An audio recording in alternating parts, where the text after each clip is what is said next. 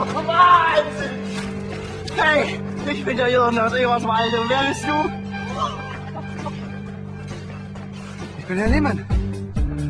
Kannst mich aber trotzdem duzen. Hallo, Herr Lehmann. Ah, hallo. Ich freue mich jetzt ganz herzlich, ihn begrüßen zu dürfen, dass wir hier stehen, so mit dieser wunderbaren Kulisse hinter uns, verdanken wir nur ihm, unserem ja, Dresden-Export als einer der besten Trompeter weltweit, hervorragender Dirigent, ehemals auch Kollege von mir. Wir waren nie gemeinsam in der Dresdner Philharmonie, aber sind unterschiedlich dort ausgestiegen. Dankeschön, dass auch Kollegen heute da sind, der Dresdner Philharmonie. Begrüßen Sie Ludwig Güttler. Er hat das da hinten initiiert und auf den Weg gebracht.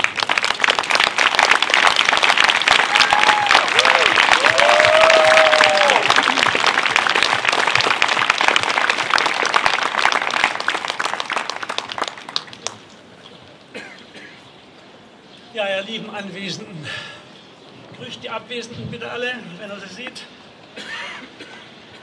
Ich ähm, wollte eigentlich gar nicht hier sein. In meinem langjährig geführten Notizplan bin ich heute in Solingen zu einem Konzert. Aber wie das bereits seit Mitte März der Fall ist, sind diese Termine alle verschoben mit Hoffnung auf ein Jahr später. Oder sie fallen der Mutlosigkeit derer zum Opfer, die veranstalten sollen, wollen und müssten. Und ich möchte jetzt nicht nach dem Gesichtspunkt handeln, es ist alles Wichtige gesagt, aber noch nicht von mir.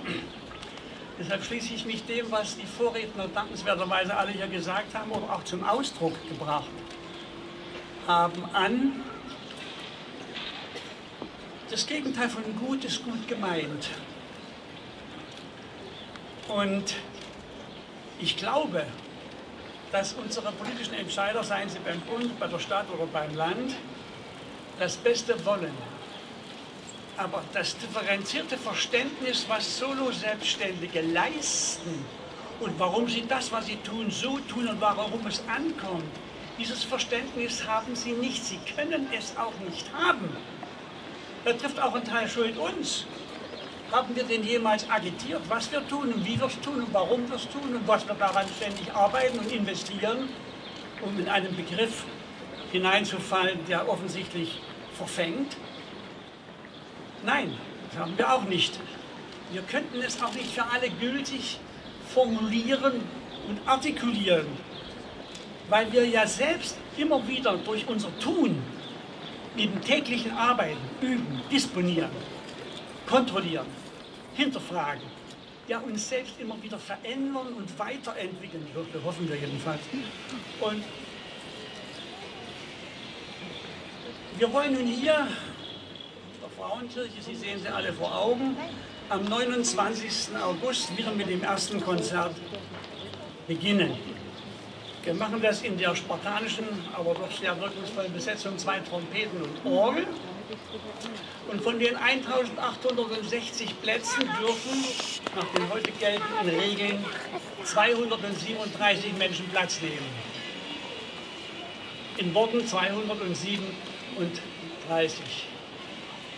Das deckt an Kosten noch nicht einmal die zusätzlichen Platzanweiser, die dafür sorgen müssen, dass die richtigen Abstände eingehalten werden. Das heißt, eine ökonomische Basis für dieses Tun ist bei den geltenden Abstandsregeln oder nennen wir es Hygienevorschriften überhaupt nicht vorstellbar. Allein das Überlegen darüber geht ja schon in das Defizit. Hier muss also, jetzt gehen wir nach vorn, ein kleiner Kreis von Kundigen mit den Entscheidern zusammen sich setzen und nach einer Lösung suchen, die wir innerhalb von einer halben Stunde gefunden haben werden. Das garantiere ich Ihnen, für falls ich dabei sein sollte. Aber das müsste eigentlich gestern geschehen und nicht erst morgen. Das heißt, innerhalb der nächsten zehn Tage muss dieser Termin aktiv von der Politik herbeigeführt werden, von mir aus auch nachts 23 Uhr, das spielt überhaupt keine Rolle. Das sind ja Zeiten, die uns keine Angst machen. Und ich hoffe noch, dass wir unser differenziertes Tun, in das wir seit Kindheit, Kindesbeinen an investieren, täglich in Zeit, Kraft und unseren künstlerischen Vermögen. Ich mache das seit meinem fünften Lebensjahr, seitdem mir meine Großmutter eine Ziehharmonika geschenkt hat. Inzwischen bin ich ja ein paar Monate älter und mache das immer noch, und zwar mit großem Vergnügen. Und wir leben auch von der Reaktion derer, die uns hören und wahrnehmen und dadurch bestätigen. Und, und selbst wenn ich einen, einen gut gemeinten Raum habe, sei es die Oper oder der Kulturpalast oder wo auch immer, wo ab und zu ein Mensch sitzt, was kommt denn da für ein Gefühl, für ein Erlebnisgefühl, für ein Raumgefühl, für eine Erlebniserwartung überhaupt auf? Ist doch für die Katz.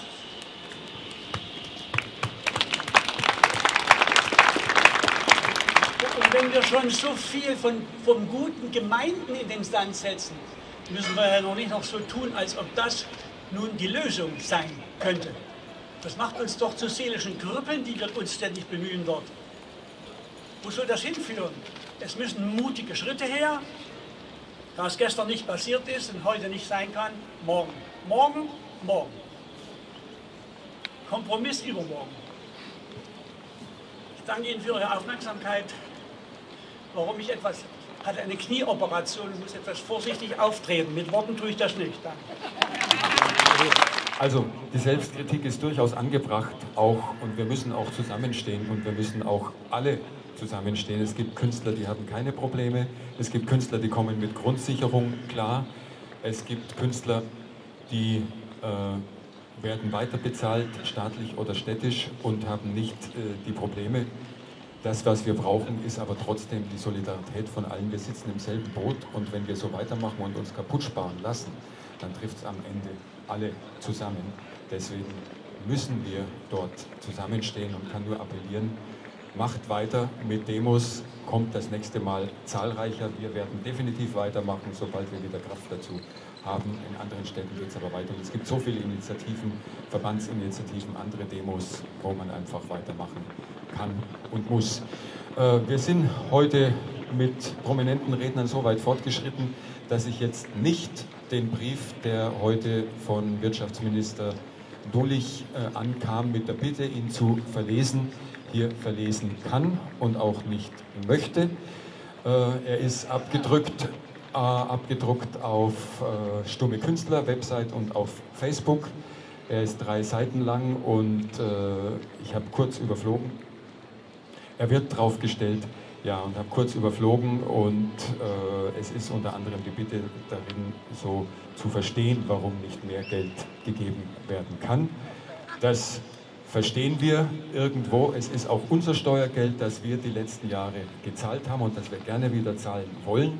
Aber genau deswegen, wenn wir wirtschaftlich denken, wenn die Institutionen, wenn die ganzen Veranstalter, die viel Lehrgeld gezahlt haben und jetzt die Strukturen stimmen und funktionieren, wenn denen jetzt nicht geholfen wird, dann werden die Schäden in den nächsten Jahren deutlich mehr sein als das Geld, was wir jetzt brauchen, um zu überleben. Und das nennt man Wirtschaft.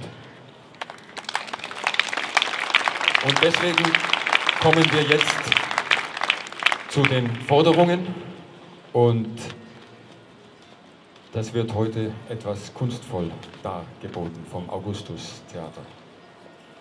August Theater. Ja, wenn die Puppenspieler, die Schauspieler, und alle Künstler schweigen, dann müssen wir Puppen, wir Figuren, müssen anfangen, endlich zu reden. Ja, und das natürlich wieder stellvertretend für die, die da hinter mir stehen, die Schauspieler, die Puppenspieler und die vielen Künstler da hinten. Deswegen möchte ich ganz nüchtern, ganz nüchtern die Forderungen verlesen, die gestellt werden von diesen Künstlern.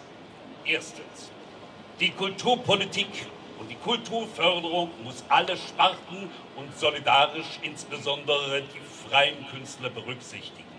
Gerade in der freien Szene ist die Grundfinanzierung oft viel zu niedrig. Durch die niedrigen Honorare können Künstler kaum Rücklagen bilden.